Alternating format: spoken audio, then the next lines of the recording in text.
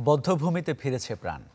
রং বেরঙের ডানা মেলে আকাশে পাখির ওড়াউড়ি আর স্বচ্ছ জলরাশিতে নানা প্রজাতির মাছেদের আনাগোনা। প্রকৃতিতে নতুন প্রাণের সঞ্চারে বাইক্কা বিল ঘিরে অন্তত লাখ দুই মানুষের জীবনে এসেছে গতি। সীমিত পরিসরে হলেও আসছে পর্যটক। শ্রীমঙ্গল ঘুরে এসে রিপোর্ট করছেন মোর্শেদ হাসিম।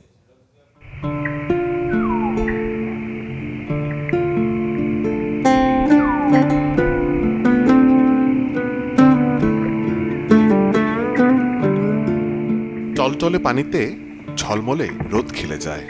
অলস দুপুর কি বিকেল? দুচোখের দৃষ্টি সীমানায় শুধুই বিশাল জলরাশি।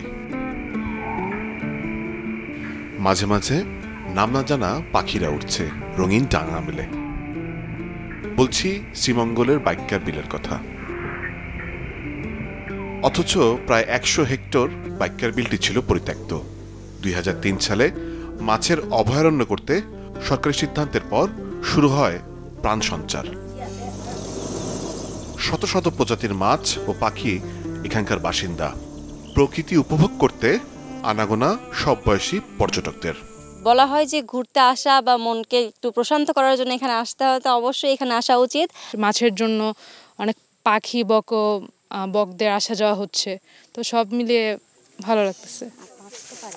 স্থানীয়দের জীবিকার উৎস এখন এই বাইকার বিল। ডিম যখন মাছে ছাড়ে তখন প্রচুর মানুষে মাছ ধরতে পারে। পাঁচ সাত হাজার দশ হাজার বিশ হাজার টাকা করে। মাছের উৎপাদনের পাশাপাশি হাইলাউরে যে পাখিগুলো বিলুপ্ত হয়ে গেছিল এই পাখিগুলো আসা শুরু করল একেবারে সরকারকে সহযোগিতার জন্য পাশে আছে মার্কিন উন্নয়ন সংস্থাও। বাইক্যা বিলের প্রতি যেটা এলাকার মানুষের দরদ আছে যেহেতু বাইক্যা বিল ব্যবস্থাপনার সাথে আছে স্থানীয় জনসাধারণ উপজেলা প্রশাসন মৎস্য অধিদপ্তর এবং বিভিন্ন সময় বিভিন্ন প্রকল্প কাজ করছি ওদের ইউএসএড অর্থায়নে বাইকের বিলকে ঘিরে সাতটি গ্রামের মানুষের জীবনে এসেছে পরিবর্তন, যার কারণে উপকৃত হচ্ছে প্রায় দুই লাখ মানুষ। Murshed Hasib channel twenty four Baikka Beel, Sreemangal.